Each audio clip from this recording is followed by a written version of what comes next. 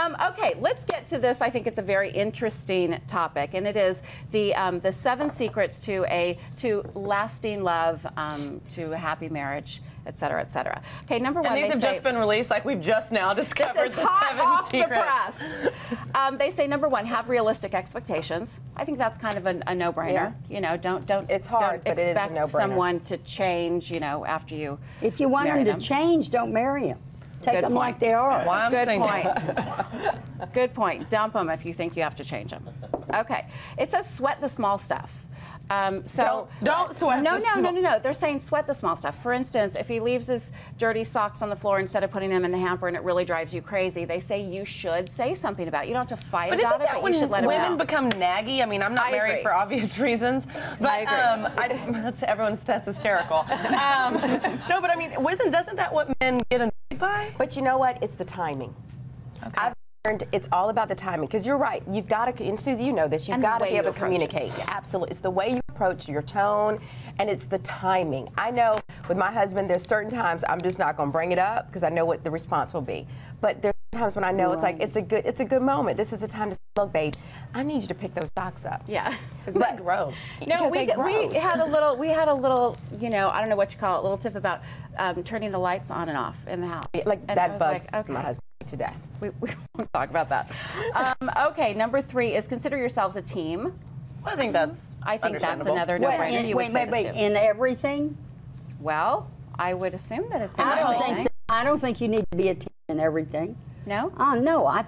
You don't have to. You don't have to be a team if he likes hunting and fishing. You don't have to go. As far as Well, the you don't have relationship to is be concerned. This says that Ohio State University researchers tracked couples for 20 years, and they said that those who made decisions jointly were the happiest. Yeah. Well, I or believe if for you're that. talking Making about decisions as a team, not meaning you have to do everything as a well, team. yeah, but I still believe in the individuality of That's- the two partners. that's one of Oh, them. yeah, but I think that you have to be able to make decisions together. And a lot of Depending on on what's involved here. Oh, I don't know. In my house, it's everything.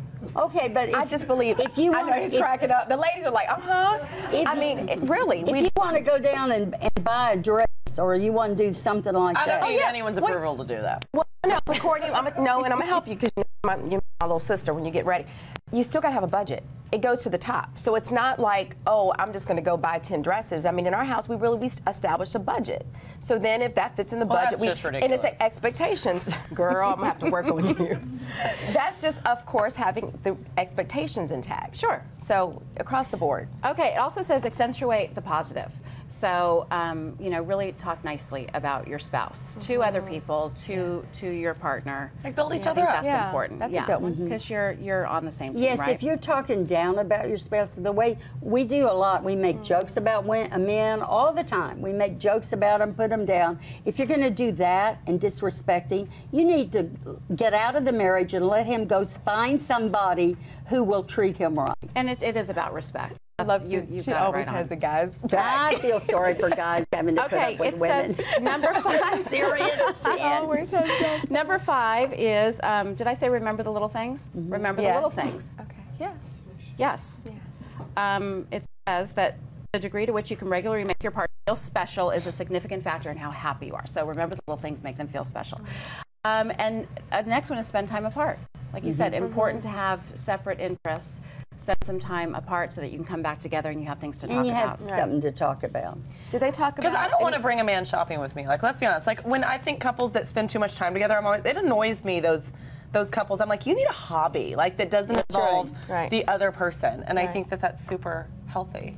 Yeah. But what if you love spending time together? Like, Well, I- I then- mean, that's my best friend. Like I, that's who I want to hang out with usually. Well, that's Unless he's now. irritated with me for Yeah. some reason. Y'all just moved in together a week ago. Okay. And then is that the last point? Is there another point? Let's do- This is the last one, and, and I know we all have an opinion about this one. It says that you should have strong relationships with both sexes.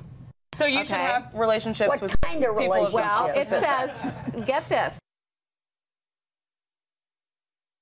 without the complications of adultery. Okay. I, I agree with that. Well. the- Right? Yes, we And- are. yeah. We, we, we have a male point of view over here sitting on our couch. 'Cause and I he's got like, some opinions. So I think he's starting to sweat. He's like in the hot seat. But really quickly, He's before getting you go there, they didn't have anything about. I mean, okay, this is for married couples.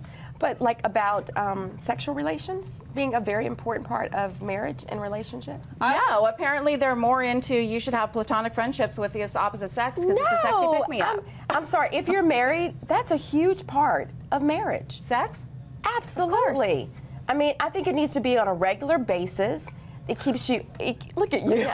It's Close your time. ears. I can't wait to get married, y'all. it really keeps the relationship alive and it keeps you connected. It's I actually true. had an older There's woman so tell me she should be about more to talk about. He Says, She Says, right? I mean, we're going to cover all of this. Getting